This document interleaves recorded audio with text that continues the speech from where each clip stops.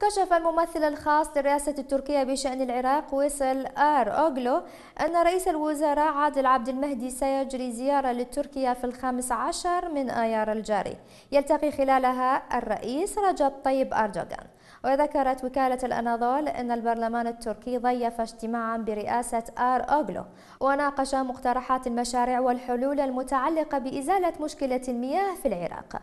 وفي كلماته الافتتاحية للاجتماع قال أوغلو أننا نقوم حقا بعمل مهم جدا لأن العراق جارنا وتنفيذ أعمالا مهمة متعلقة بالمياه والطاقة.